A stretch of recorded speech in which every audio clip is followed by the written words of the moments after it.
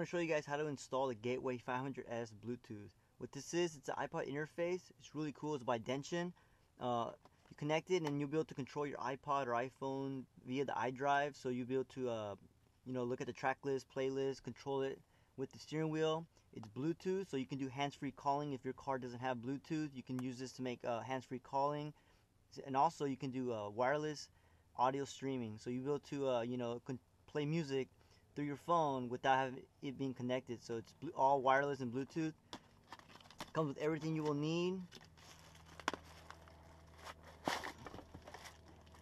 You got your uh, power wire. Got the uh, little adapter here so you can connect, uh, you can bypass it so you can use a CD changer, auxiliary, USB. Got your uh, Bluetooth microphone here. iPod cable fiber optic cable also with uh, the different connectors you will need. Obviously uh, instructions and manual. And the module the the Dension gateway module which is this is really cool looking nice uh, it looks really nice. It's small so you'll be able to hide it anywhere uh, tuck it in anywhere. So I'm gonna go ahead and show you guys how to install Okay, uh, if you don't, if you have a CD changer, you're gonna have your wire. You have to disconnect your CD changer because uh, the interface actually replaces the CD changer. So uh, you would just disconnect it and use the wiring from there. Uh, in my case, I don't have a CD changer, but my car is prepped for CD changer, so I'm already gonna have the wiring. It's gonna be hit Sometimes it's hitting way back here. It's gonna be like this. This is the original power wire for the CD changer that came with the car and this is going to be the uh, it's looped right now. This is the uh, fiber optic cable. Uh, real quick i want to spice into the video real quick so i can show you guys. If you don't have the cd prep how to connect the using the fiber optic cables that's supplied um, you know i got lucky so i had the cd prep so i had the fiber optic cables in the back of the glove box. If you don't they do supply the fiber optic cable so you can connect the Dension module directly to the unit. Um, so I'm not gonna take these. I'm not gonna connect it since mine's already. Uh, I can use these as an example, but this will come with all the the little connectors and the wiring that you will need to do it. So um, I already have my my thing apart. I have another video where show you how to get to this point, take it apart. You can look at my other videos and and check it out. So once you uh, have it all apart, you want to get. Uh, this is gonna be the the C block. So you just lift this up and take it out, and it should just come right out. Okay, so this is where we're to ins install the Dension uh, fiber optic cables right here. Really simple. This will go uh, lift up and then this slides out. So what you want to do is you want to read the instructions carefully so you can see how to loop it, but it's pretty, uh, it's not too hard, not too difficult. Um, this little connector here will have arrows again. You can see the arrows up here. You go in and out. So this one's going in, so this should be the one that's coming out of the Dension. And this one's coming out so this one should be going uh, into the Dension. Um, please really carefully read the instructions so you can know how to uh, loop it correctly. Um, this will all come so you'll have all the fiber optic cables necessary. So this will plug into here. It'll just snap right in and easily just uh, plug it back in. And so it would it would cause this is you this is how you would use these if you don't have the fiber optic already looped in. Um, since mine already did it, I want to show you guys how to do it in case yours isn't prepped already. You can still use it. Uh, you might not be able to uh, have the Dension right here in the glove box. You might have to tuck it behind here. There is space back here and you just have to uh, run the wire out. It's not too big of a deal. Uh, I thought I'd show you guys in case anyone runs into that situation. To take this out is really easy. You kind of just pull this cover off. You're going to have this little connector right here. Uh, these have these little little tabs right here you have to lift up to remove it. And so, let's see. These, you get like a little, you can use your nail or a flathead and lift this up and pop it out. Really easy to uh, remove these. Just be careful, you don't want to break anything. And just put these aside. Okay, first thing we're to do is we want to get the, uh, in the Dension, it has different connectors. You want to get this one right here. This is the one that you're going to be using to connect to the back of the gateway. It comes with different ones. It's this one right here, the one that fits in the back of the uh, the gateway. So what we need to do is we need to find out which one of these is the uh, the input. The best way to do that is right here is gonna have a you're gonna see a light. That's gonna be the input. You want to start up the car real quick. And now you can see the, the red light. That one's gonna be the input. Now you're gonna get this. You want to remove this little blue thing. Blue thing's easy to remove. You get like a paper clip. You push it through from the back. It just it locks the fiber optic cables in place. You just remove that. Just don't lose that blue thing. Okay, so you want to get the um the hot one, which is uh this one right here. This is the the one with the light. So this is gonna be the uh, the wire, the input. So we want to find this connector. It's gonna have arrows. There's only one way to put it in, so it's gonna have the arrows going downwards. So that's gonna be the input, and then you want to get the other ones gonna be the output. So that's done. Okay, so now that we have it, we can uh, lock it in place.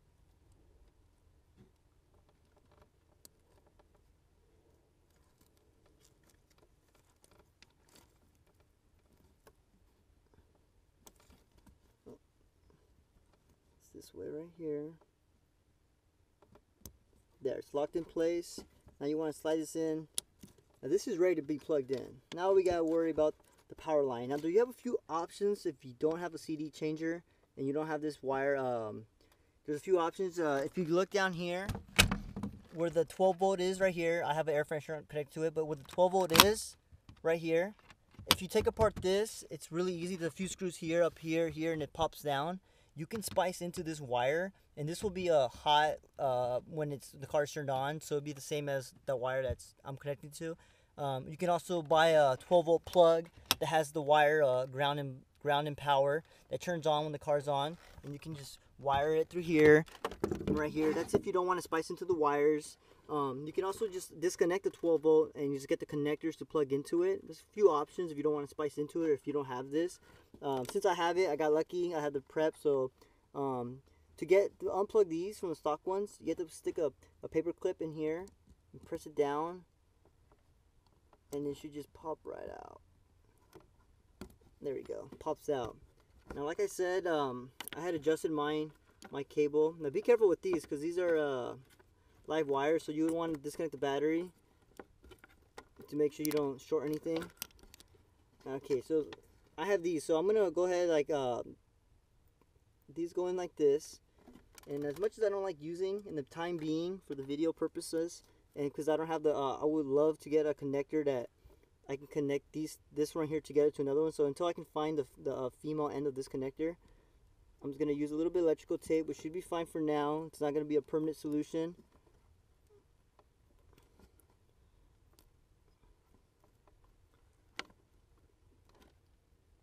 And so, the same thing with, this is going to be a brown wire, which is going to be the ground.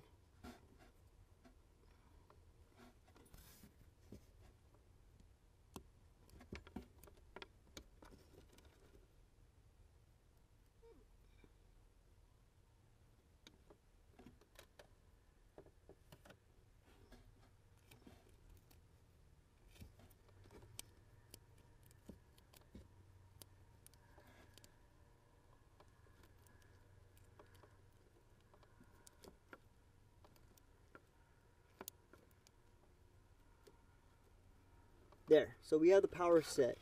Now let's get our gateway unit. We have our unit right here. It's gonna be the power one. There's uh, it's really cool. This thing allows you to still connect two different ones. So if you still have you want to keep your CD changer, you built to connect to this one. It comes with instructions on how to wire it up. Uh, I don't have a CD changer on mine, so I'm just gonna focus on uh, just wiring up the Dension, which can be on this side right here. Just read the instructions; it'll tell you it's gonna be this one right here that's set and then you get your uh, your power wire. It's gonna be right next to that one. You just plug it right in. That plugs right in. Now this you can probably just tuck back here. I like how this is really small where you can you'll be able to hide it back there. It won't get in the way of anything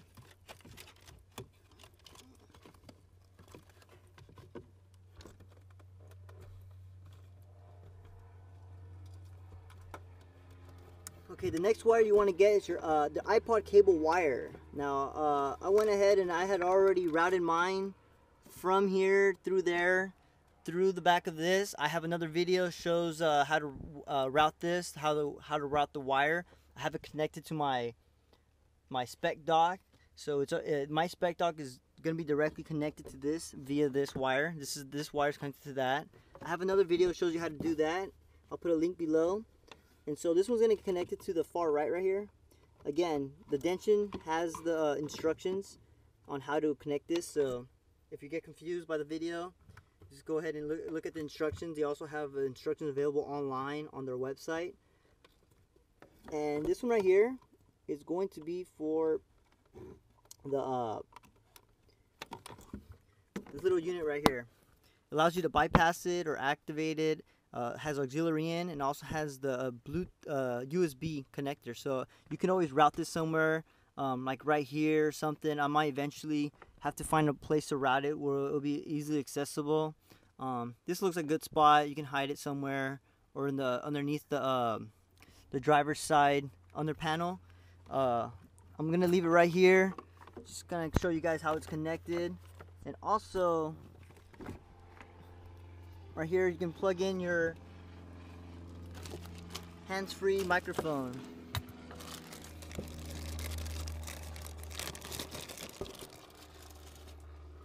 Like I said uh, previously, um, I already have Bluetooth on my car, so um, I won't be showing you how to really route this one because I would have no need to, but I will show you guys how it works. I will test it out. So I will connect it but in the meantime, I'm just gonna route it. I'm just gonna have it outside the glove box and I'll just put it somewhere right here so that we could use it later. So, you know, in the end, this is really small. That was really easy to install. And you have your USB plugs here. And when you mount this somewhere, you able to plug in the USB here. Uh, that didn't take very long to install. It's already working. I see my thing charging already.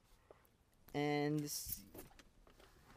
and that's all it really took to connect it. Just want to make sure it's working and then I'll give you guys a little uh, uh, I'll give you guys a little example how it works, how I use it.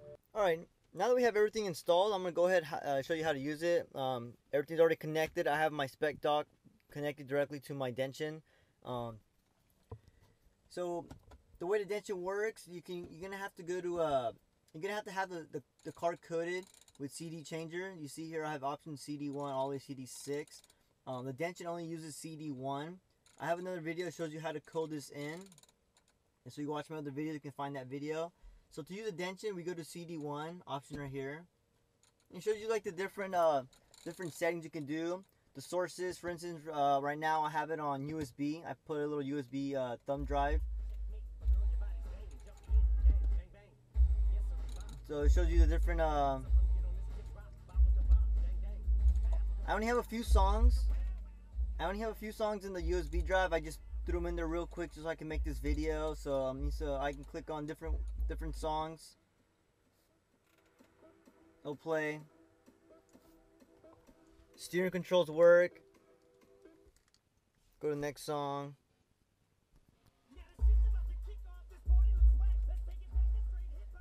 And say, okay, so now let's say we go to root we can choose different sources like for instance uh, my iPhone. Now we can shows all the different songs on here. You can go to uh let you choose a different you know playlist artists album songs genres compose everything you have on your on your iPod it will pretty much show up on here. You know your different playlists you can uh, scroll through. Two different songs. Click on reggae.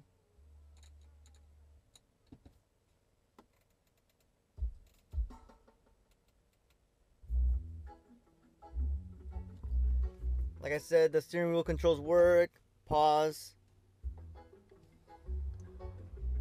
It shows up which playing on there. Go to the next song.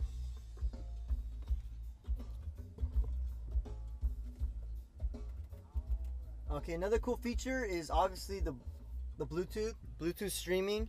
Uh, what you want to do is you want to connect your, your phone to the uh, go to uh, settings collect the Bluetooth make sure the gateway is selected. I disabled my my Bluetooth. So let's uh you go to you go to root go to source Bluetooth audio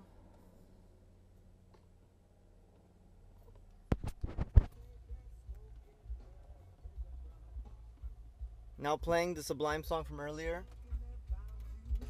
See, get ready. Get ready shows up on here. Completely wireless. Go to uh, next song. Starts playing. Updates right there too. Really cool. It's completely wireless. So and also what works also is uh, Pandora. Pandora actually works really well with this. I've used it with Spotify. I don't have an account with them anymore, but when I did have the trial version, it did work. Let me load up Pandora.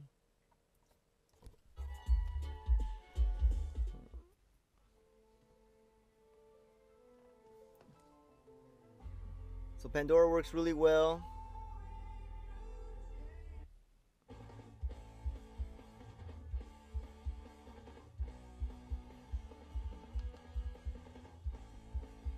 It even shows the track name of what's playing on Pandora.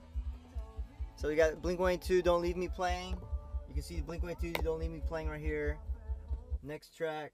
Need help? You're lucky you live in Southern California. Oh, sorry, that's an ad. So I'm gonna go ahead and skip that. Um, also, what works really well is the iTunes, the new iTunes radio. So let's click on this. Uh, let's click on Hip Hop Radio. MIA is playing. Shows up on the track. You know, you can skip it. Works really well. Of course, you can always just, you know, plug it in as well. Alright, now we can try on out the uh, Bluetooth calling. So, I, I, like I said, I have Bluetooth on my car already, so I, I disabled it so I can make the video. So I have this wired up. Uh, it came with the Dension. So it's hands-free calling. You know, you can call. Let's see, I'll call someone right now. It's gonna show up right here, gateway. You can hear on the loudspeaker.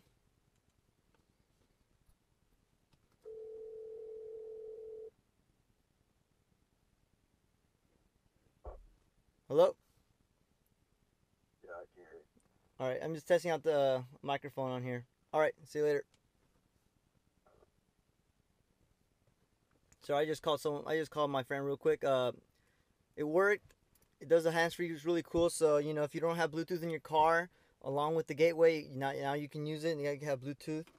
So overall, I really like this. Uh, the Gateway 500. The Bluetooth is really cool feature. If you, especially we use it with the spec dock like I do, is really clean, really uh, hands free. You can do anything, and then um, the quality of the music's really good. And I like that you can use it with Pandora. You can play. Uh, you can put a YouTube video, and it will pl- uh, play the audio from the YouTube video. So uh, this is my video on the gateway installation and little uh, how to use. Hope you enjoyed the video. Comment, like, subscribe. Thanks for watching.